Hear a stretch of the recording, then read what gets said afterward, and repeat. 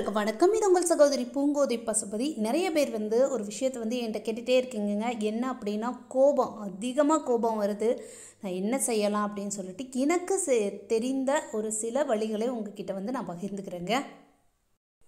So எப்போதுமே பார்த்தீங்க அப்படின்னா ஒரு பொருளை நம்ம தொலைச்சோம் அப்படின்னா எந்த இடத்துல தொலைச்சோமோ அங்கே போய் தான் தேடணும். வசதியாக இருக்குன்னு பக்கத்தில் தேடினா நம்மளுக்கு அந்த பொருள் கிடைக்குமா?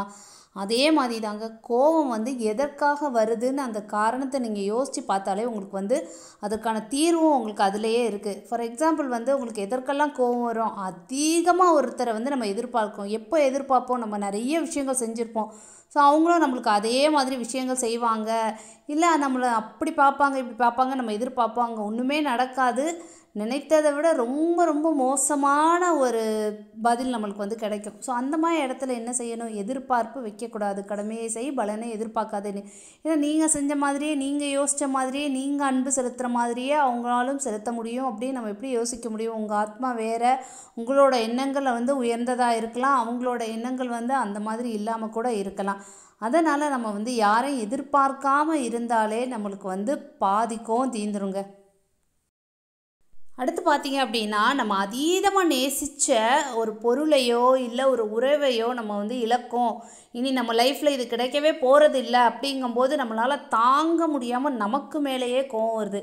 அதை வந்து நம்ம யோசிக்கவே கூடாது. இந்த பொருள் நம்மளுக்கு இல்லையா? இறைவன் வந்து இன்னொரு பொருளை வந்து நம்மளுக்காக இதை விட பெஸ்ட்டாக வச்சுருக்காரு அப்படிங்கிற ஹோப்பு அப்படிங்கிற பாசிட்டிவிட்டி வந்து எப்போதுமே நம்ம மைண்டில் இருக்கணும். அப்படி இல்லை அப்படின்னா நம்மளுக்கு வந்து அதை தாங்கிக் கொள்ள முடியாமல் இருக்கிற பொருளையும் நம்ம இழந்துட்டு தான் இருக்கணும். இருக்கிற உறவுகள் மேலேயே நம்ம கோவப்பட்டு அதை இழந்துட்டு தான் இருக்கணும். எப்போதுமே நம்மக்கிட்ட இருக்கிறத நம்ம பத்திரமா பாதுகாத்துக்கணும் போனதை பற்றி நம்ம கவலைப்பட்டுட்டே இருக்கவே கூடாது. அடுத்து பார்த்தீங்க அப்படின்னா ஒரு சிலர் வந்து ஏதாவது ஒரு தவறு நடந்துட்டாலோ அவங்க லைஃப்பில் வந்து ஏதாவது ஒரு இழப்பு நடந்துட்டாலோ தன்னால் தான் நடந்துச்சு என்னால் ஒன்றுமே செய்ய முடியலையேன்னு தன்னையே யோசித்து யோசித்து தனக்கே தண்டனை கொடுத்துப்பாங்க. ஏதாவது ஒரு தீய வழியில் போகிறது அதாவது லைஃப்பில் உள்ள எது நல்ல விஷயங்கள்லையுமே தலையிடாமல் இருக்கிறது இந்த மாதிரி தன்னையே வருத்திப்பாங்க. அது வந்து வருத்த அந்த மாதிரி செய்யவே கூடாதுங்க.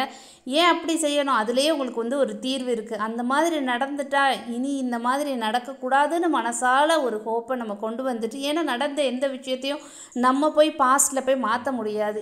இனி நடக்காமல் நம்ம பார்க்குறக்கு வந்து நம்மளுக்கு வந்து சக்தியை இறைவன் தந்திருக்காரு.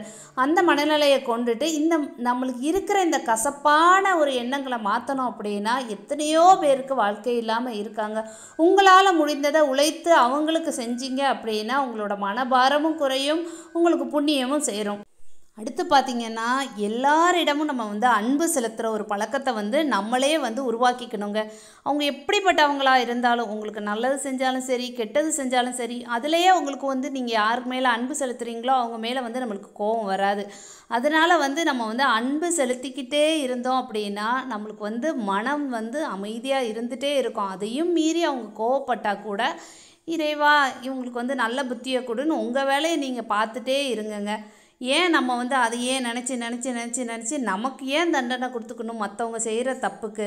அதனால் என்றைக்குமே வந்து அன்பான ஒரு மனதை வைத்துக்கொள்ளுங்கள் காலையில் எழும்புறீங்களா? ஒரு அஞ்சு நிமிஷம் உட்காந்து மெடிடேட் பண்ணி சுவாமிகிட்ட வந்து உங்கள் மனக்குறையெல்லாம் அப்படியே அவர்கிட்ட விட்டுட்டு நீங்கள் பாட்டு எழும்பி உங்கள் வேலையை பாருங்கங்க. உங்களுக்கு எந்த ஒரு பிரச்சனையுமே வராது. இது உங்களுக்கு ரொம்பவே யூஸ்ஃபுல்லாக இருக்கும்னு சொல்லிட்டு ரொம்பவே நம்புகிறேங்க நீங்கள் வேறு ஏதாவது உங்களோட விஷயங்களை வந்து என்கிட்ட வந்து ஷேர் பண்ணிக்கணும் அப்படின்னு நினச்சிங்க அப்படின்னா வந்து இங்கே கமெண்ட் செக்ஷனில் சொல்லலாம். அப்படி இல்லை அப்படின்னா நீங்கள் வந்து Kothai Pasu at Gmail dot com என்னோடய மெயில் ஐடி வந்து நான் டிஸ்கிரிப்ஷனில் கொடுக்குங்க ஸோ அதில் கூட நீங்கள் ஷேர் பண்ணிக்கலாம். கண்டிப்பாக அதற்குள்ள தீர்வையும் நம்ம வந்து ஷேர் பண்ணிக்கலாம் அடுத்த வீடியோவாக தேங்க்யூ ஃபார் ஹியரிங்க பாய் நம்ம சேனலை மறக்காமல் சப்ஸ்கிரைப் பண்ணிக்கோங்க. எங்களுக்கு சப்போர்ட் கொடுத்துட்டே இருங்க. எங்களோட ப்ரேயர்ஸை வந்து உங்களுக்காக நாங்கள் எப்போதுமே வச்சுட்டே இருப்போங்க. பாய்ங்க